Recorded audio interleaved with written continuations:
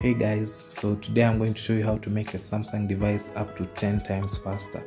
Now, please note this only works for Samsung devices as it's dependent on the One UI Home app. So please note this only works for Samsung phones and Samsung tablets. It does not work on any other device.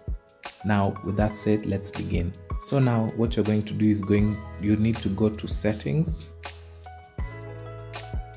and in the settings app you have to scroll to the apps page.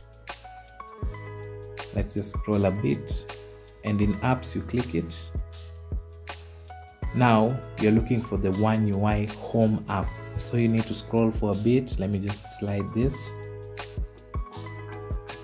So now you're looking for one ui let's scroll a bit. There it is. So now with this you click it and upon clicking you're going to scroll to the battery section. This is how it looks like and you need to just scroll down and click battery.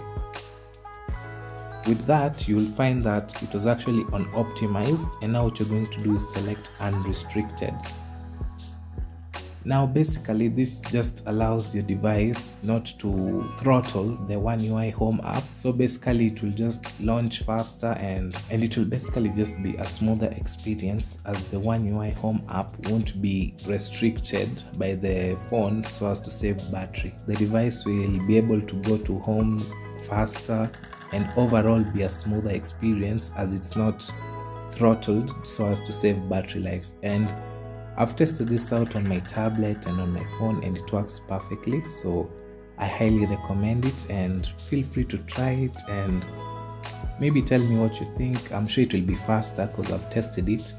And if it helped, you can tell me in the comments. And yeah, that's it. It will be much it will be much faster as you may notice. And I hope you it helps you and I hope it's it's a good experience overall. So with that, Thank you for watching and have a good one.